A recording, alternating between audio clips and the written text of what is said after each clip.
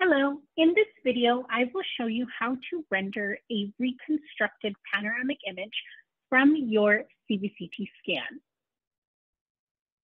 In, in most cases, in your, in your CPR, window, window, the, the CPR, CPR curve will do, will do a pretty good job of automatically rendering that reconstructed panoramic image for you. However, in some cases, we do have to make some adjustments. Select the CPR icon in your upper right toolbar if not already selected.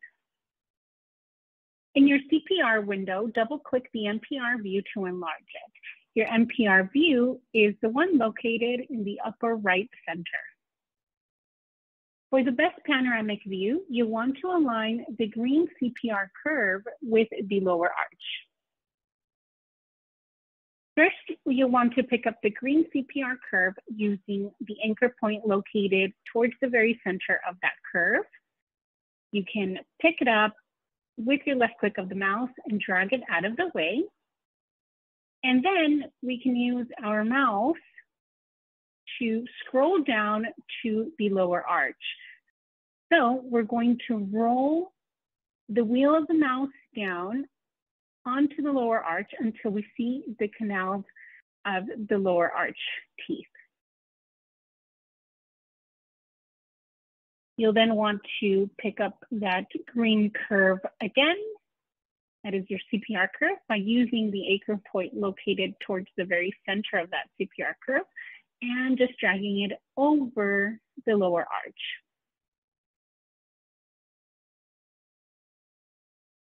You'll want to do your best to align the anchor points along the CPR curve to the canals of the teeth, and then you may have to pick those up individually to further align them with the arch.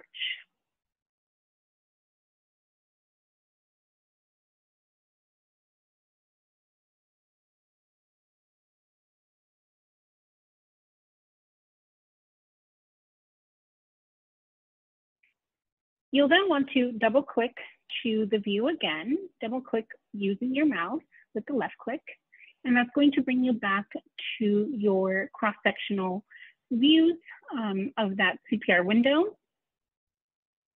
In the center uh, toolbar of your CPR window, usually the thickness will default to 15 millimeters. You can change that thickness to anything between 15 to 20 millimeters for the best panoramic view. It is important to note that the 2D images, such as panoramic and x-rays, typically run at a setting of 15 to 20 millimeters in thickness. However, if the panorama view in the CPR window is being used for purposes other than generating a reconstructed panoramic, such as implant planning, then we recommend a one millimeter slice thickness setting. If the visible cross-section and CPR lines are activated, you can deactivate them by unselecting the indicated icons in the center CPR toolbar.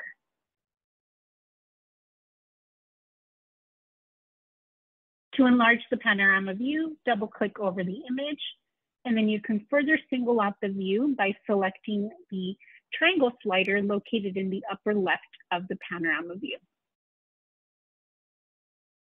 Lastly, if you wish to save this view as a JPEG file, simply right click over the view and select Save Image in the dropdown. The file is typically anonymized due to HIPAA compliance, but you can always change the name of the file before you save it. Thank you for watching.